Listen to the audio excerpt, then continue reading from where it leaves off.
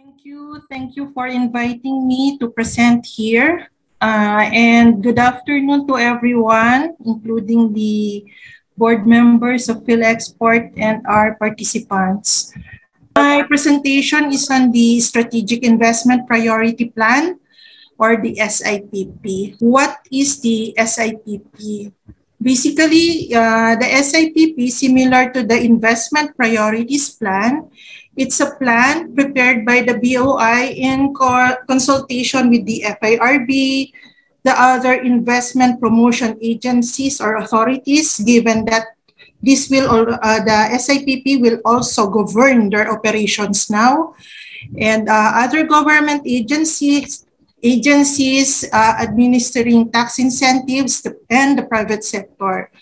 Um, this should be approved by the president and should contain the following. Um, the priority projects or activities, the scope and coverage or of location and industry tiers, recommendations for non-fiscal support, and other information that are pertinent to the SIPP. So that's what is provided in the IRR of the CREATE Act. Uh, what is the approval process? So basically, the most important thing to note here is that it should be agreed upon by all the investment uh, promotion agencies. So it should be accepted by all the IPAs because they will have to abide by the SIPP. And then um, under the implementing rules and regulations, there is a steering committee that is created to oversee or to review the SIPP. So we call this the SIPP Steering Committee. So after uh, there, we reach an agreement with between all the or amongst all the IPAs, then we will be conducting uh, public hearings.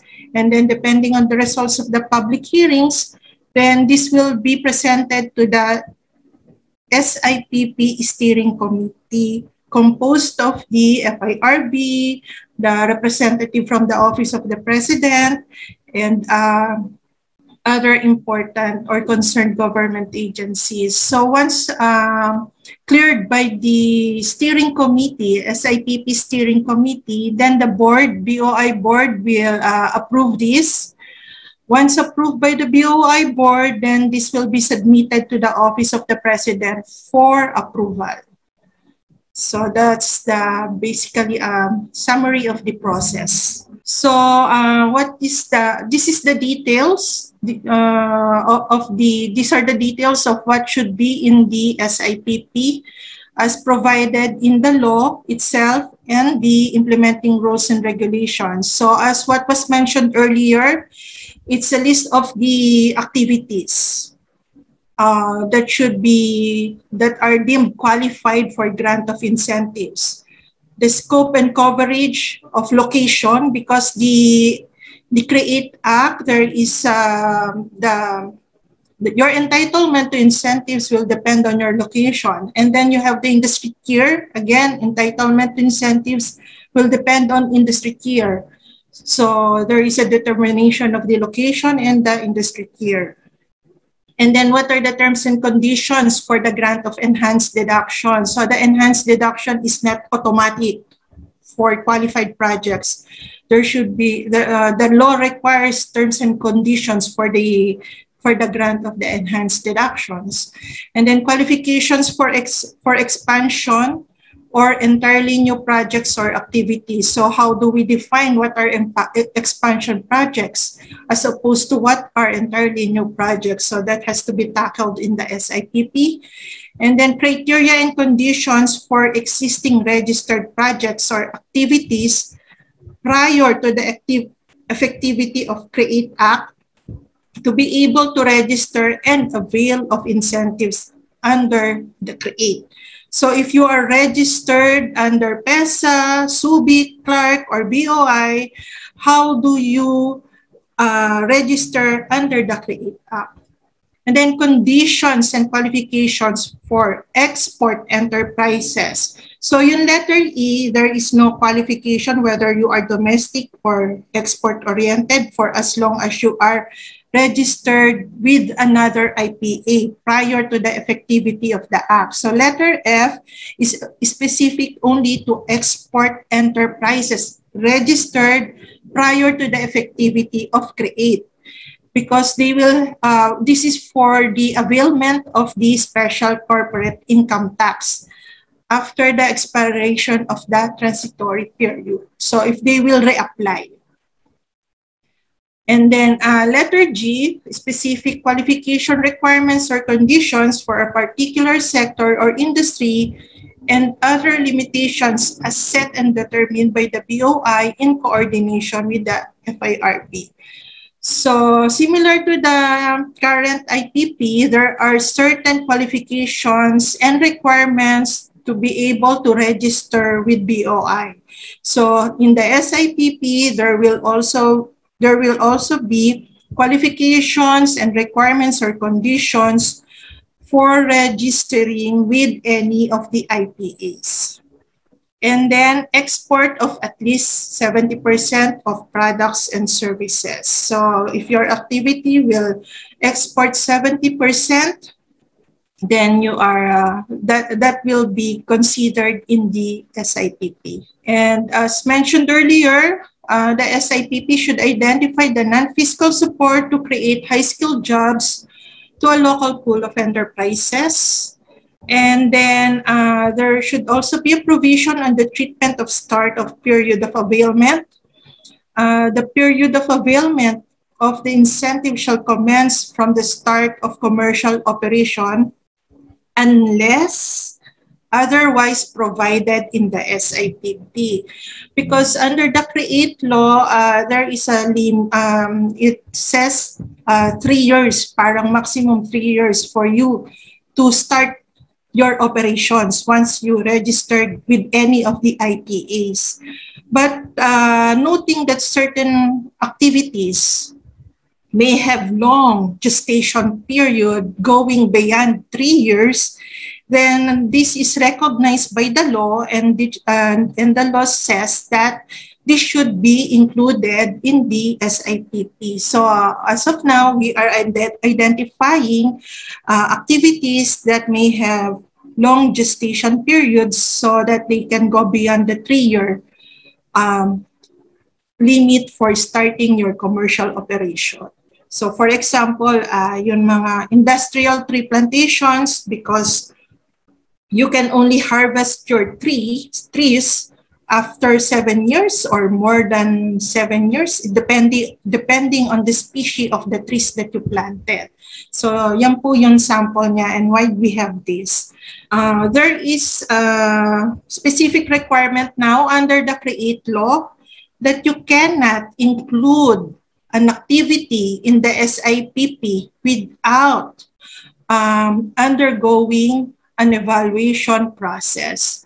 So dati noon, we even uh, for for the IPP, we do have the evaluation process, but uh, this time sa CREATE Act, there are specific, there are 10 conditions or criteria uh, that we need to assess before we can include an activity in the SIPP. So now, uh, strict dito, it should be supported by a formal evaluation process or report. So what are these uh, criteria or parameters or conditions? So we have 10 and uh, as provided under section 308 of CREATE. So number one is substantial amount of investments. Number two, considerable generation of employment especially towards less developed areas. Number three is considerable amount of net exports. Number four, use of modern, advanced, or new technology. Number five, processes and innovations that will lead towards the attainment of the sustainable development goals. And then number six, uh, addressing missing links and other gaps in the supply or value chain or if uh, the activity will move, uh, will help you move up the value chain or product ladder. And then number seven is promotion of market competitiveness. Number eight, enhancement of the capabilities of Filipino enterprises and professionals to produce and offer increasingly sophisticated products and services. Nine is contribution to Philippine food security and increased incomes in the agriculture and fisheries sector. Tenth is services and activities that can promote regional and global operations in the country. So what are the approaches that we are currently undergoing to implement the 10 conditions to have that formal evaluation process as required by law? So for the substantial amount of investments, uh, as discussed with the, the, all the IPAs, and this was accepted already by all the IPAs, the agreed uh, approach is the capital intensity ratio. Uh, for the considerable generation of employment, the agreed approach is labor intensity ratio, considerable amount of net export so uh, take note, this is net export. So it's not just export per se, but it means uh, export minus import. So we get the net export. So what we, what the agreed approach is to consider the net export, the raw net export but this, this should be uh, supplemented by the revealed comparative advantage and analysis of the product space. So we will consider three factors when it comes to net export. And then use of modern advanced or new technology um, because this cannot be quantified so we will be conducting experts group discussion here. We have um, discussed uh, already the procurement of the services of the Development Academy of the Philippines. And uh, we are just now finalizing the, the procurement of the services of DAP for DAP to help us conduct the experts group discussion. So, so for all the criteria or parameters uh, pro, uh, provided by the law that cannot be quantified, uh, we will engage the services of the DAP for the conduct of experts group discussion. So for the processes and innovations that will lead towards the attainment of sustainable development goals, so we noted that there are 17 SDGs. So for all the 17 SDGs, again, we identified all those that can be quantified. So for all those that can be quantified, we identified what are the approaches that can be used. But for those that cannot be quantified, again, expert groups discussions. So it's a long process. For the missing link, addressing the missing link or moving up the value chain, uh, we have the experts group discussion here but this will be supplemented by our existing roadmaps.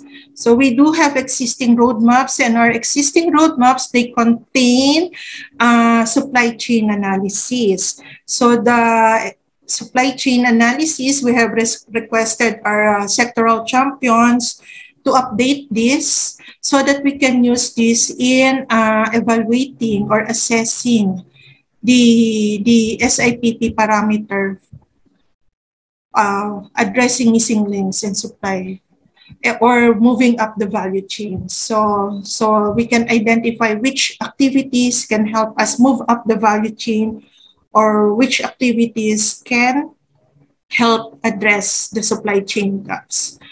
And then promotion of market competitiveness. So here, uh, we can use the product space, the Herfindahl-Hirschman Index, and experts group discussion. So for promotion of market competitiveness, we deem it more necessary to have both the qualitative and quantitative approach uh, because it's quite difficult to measure competitiveness. Although we do have the product space and the Herfindahl-Hirschman, but they do have some weaknesses, so we need the experts group discussion. And then the enhancement of the capabilities of Filipino enterprises and professionals to produce, to produce and offer um, sophisticated products and services. Again, experts group discussion because how do you identify how you can enhance the capabilities of Filipino? What activities can enhance our, uh, our, our capability to produce more sophisticated products? And how do you measure sophistication of products and services? That's why we need experts here. And then contribution to Philippine food security and increased incomes in the agriculture and fisheries sector. Uh, the approach, agreed approach here is the analysis of the local production and importation of agricultural products and um, wait, uh, analysis of the local production and importation of agricultural products because uh, this is the data available from the Philippine Statistics Authority. And then they also have the uh, supply, uh, the demand, the demand uh, statistics. So we can use this uh, to determine which crops, livestock, or agricultural products have negative supply. And uh, of course, uh, we also need experts group discussion here because agri, uh, agricultural, the agricultural industry or sector is quite sensitive industry. So aside from the uh, statistical analysis, we want to have the experts opinion also. And then services and activities that can promote regional uh, operations. Uh, so this one is also for experts group discussion because how do we measure or how do we determine what activities can promote our regional uh, participation or regional operations. So that's the approach that we have identified as agreed with the other investment promotion authorities. Um, so what are the industry tiers? As mentioned earlier, your incentives or uh, qualified projects incentives, entitlement to incentives will depend on where uh, its activity will be classified. So after identifying the priority activities for inclusion in the SIPP, the next step would be to categorize them uh, into particular industry tiers as defined by the law. So the law um, uh, set three categories. So tier one uh, covers high potential for job creation, and then uh, sectors with market failures resulting in under provision of basic goods and services, or activities that will uh, create value through innovation, upgrading, and moving up the value chain. And then activities essential, uh, that are considered as essential support to sectors critical to industrial development. And then activities emerging owing to, to potential comparative advantage. And then for tier two, these are the activities that produce supplies, parts and components and intermediate services that are not locally produced but are critical to industrial development or activities that will produce import substitutes. For tier three, tier three is basically uh, industries um, engaged in innovation R&D because we the, the intention is to promote uh, more competitive industries through innovation. So this will include activities engaged in R&D, uh, those that activities that will generate new knowledge. Uh, yun, ano neto is the intellectual property registration. So, uh, ang ano niya is uh, uh, registration with the intellectual property office. So you will need to have this.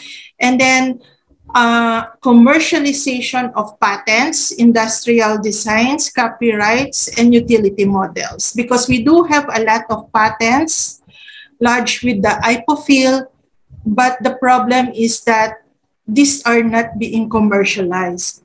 So in in recognition of that, uh, the commercialization of our patents with uh, lodged with the IPOPHL will enjoy the maximum incentives available under the CREATE Act by being under Tier 3.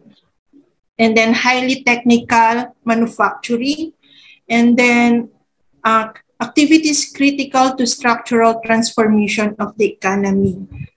For, for uh, certain uh, um, criteria or qualification under each tier that cannot be quantified or are hard to define, these are also covered in the services that will be uh, conducted uh, or rendered to us by the DAP, the uh, Development Academy of the Philippines.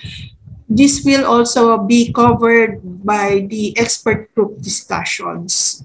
So because it's difficult to say what are uh, critical to structural transformation of the economy.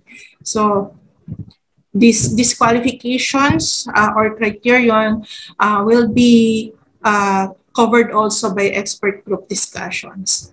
For the incentives availment, uh, uh, entitlement or and period of availment, as mentioned earlier, it will depend on your location and your industry tier. So the further you are from the national capital region, the more incentives that you will be entitled to, and the more uh, the more you incorporate innovation in your activities, the the more incentives you will be entitled to. So there is a difference on the incentives that will be uh, granted to domestic market activities versus export market activities. So for export market activities, um, you uh, activities here will be granted for a minimum of four years if within the NCR to maximum of seven years ITH if you are locating in uh, areas beyond NCR and beyond those uh, within the boundaries or beside the boundaries of NCR. So if you are locating in Mindanao, Visayas, you can get seven years of ITH. Uh, the, the main difference here is that export market activities will be entitled to 10 years enhanced deduction or uh, special corporate income tax of 5%. So it's a choice. It's the it's an option of the company whether it will avail of the enhanced deduction or the SC. So the company will have to weigh which one will be uh, more advantageous to its operation. For the domestic market, uh, domestic-oriented activities, there is no SC and the entitlement to enhanced deduction is only five years as compared to the export 10 years ang enhanced deduction. So that's the main difference.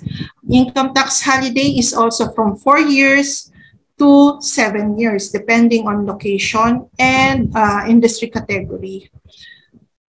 But the the but there is no exit and only five years for enhanced deduction. So that's it. Uh, so these are the menu of incentives. So income tax holiday, corporate income tax, special corporate income tax of 5%, enhanced deduction, duty exemptions, uh, VAT exemptions, and uh, VAT zero rating. And then enhanced deductions uh, as listed here. Uh, we can, the, the secretariat will provide you with a copy of the presentation. So meron enhanced deduction on the buildings and machineries, on labor, on R&D, on training expense, on domestic input expense, on power expense, and on reinvestment allowance. So that what will happen to the mandatory laws in the implementing rules and regulations? Um, it says there that the SIPP shall include sectors or industries that are mandated by special laws to be listed in the investment priorities plan and or granted incentives. So ang sample po ng mandatory laws, uh, for example, the Mining Act, uh, and then the Energy Efficiency Act, the Renewable Energy Act, and so on. And Tourism Act po, mandatory law po yan. So marami po tayong mga mandatory laws. We we, we call them mandatory laws because their, their inclusion in the IPP is mandated by law. So they will always be, uh, they, they will still be included in the SIPP.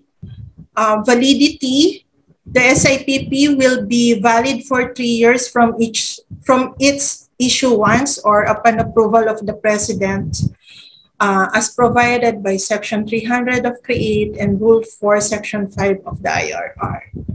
The SIPP can be amended. So uh, amendments that can be made, uh, uh, uh for example, is the inclusion of additional areas or activities.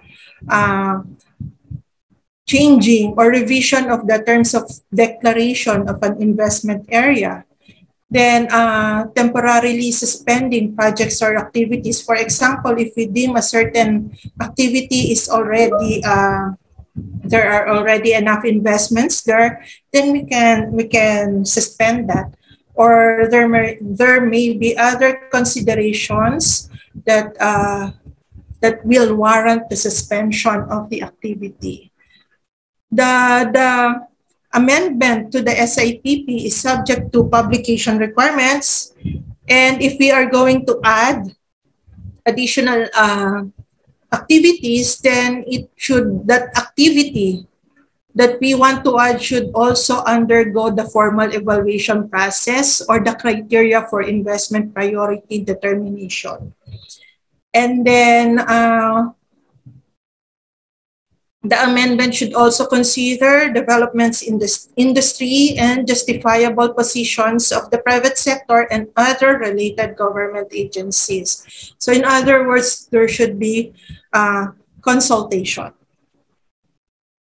And then uh, provided that any amendment or suspension of the SIPP shall not prejudice the availment of fiscal incentives already granted to registered business enterprises. So whatever we amend, basta naka-register na kayo, hindi na kayo maapektuhan nung amendment na gagawin sa SIPP. So ang maapektuhan lang, um, on, only those projects that will uh, register or apply for registration after the amendment of the SIPP will be affected by the amendment. So those uh, projects that were already registered prior to the amendment, they will not be affected. Publications, so uh, the SIPP to be effective requires publication in at least one newspaper of general circulation or in the official gazette. Even the amendments as previously uh, mentioned, it should be published Okay, uh, so what are the updates? Given that we have not issued yet the SIPP as we are still uh, conducting the required evaluation, formal evaluation processes for each criteria in section 300, so we requested that the current 2020 IPP be considered as the transitional SIPP. And the FIRB in its meeting of April 14 2021 agreed or approved the adoption of the 2020 IPP as the transitional SIPP. So, but with the condition or the proviso that uh, projects that will uh, register under the transitional SIPP will be considered under tier 1 category without However, this is without prejudice to being upgraded once uh, the final SIPP has been issued. But the upgrading uh, is not automatic the activity will still be uh, assessed if it is qualified to be upgraded. Depending on the uh, qualifications or the, remember we said that the SIPP should contain the terms and conditions or qualifications for registration and then for the enhanced deduction and so on. So if the project meets all those uh, qualifications, then it can be upgraded. The tiering can be upgraded.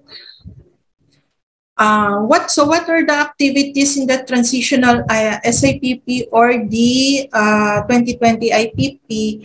Um, we have uh, 12 uh, we have 12 uh, priority activities. So these are the uh, activities or services uh, for the fight against COVID-19. So this covers yung production ng mga PPEs, production of vaccines, drugs and medicines. For the services, ito yung mga testing facilities, hospitals, and even crematoriums. Because with the volume of cadavers, um, we, we, we have difficulty in accommodating yung uh, uh, proper uh, treatment ng ating mga cadavers na. And then investment in activities, uh, supportive of programs to generate em employment opportunities outside of congested urban areas. So because we want to decongest Metro Manila, we want to to encourage more investments in the provinces. Then uh, we have manufacturing activities and agro-processing. The number four is agriculture, fishery, and forestry. Uh, five is strategic services. Six is healthcare and disaster risk reduction management services. Uh, then we have mass housing. It is infrastructure and logistics, uh, including the projects under uh, PPPs uh, the public partnership projects. Then innovation drivers, then inclusive business models, then environmental or climate change related projects, and then energy projects. For the special laws, ito yung sinasabi rin natin na mandatory laws.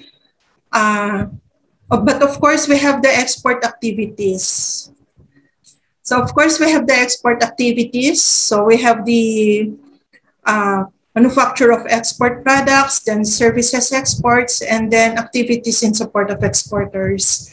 Then for the special laws or the mandatory laws, um, we have industrial tree plantation, mining, uh, publication and printing of books, then oil deregulation law, uh, the rehabilitation, self-development, and self-reliance of persons with disability, uh, RE law, tourism, and energy efficiency. So these are all the priority activities under the transitional SIPP.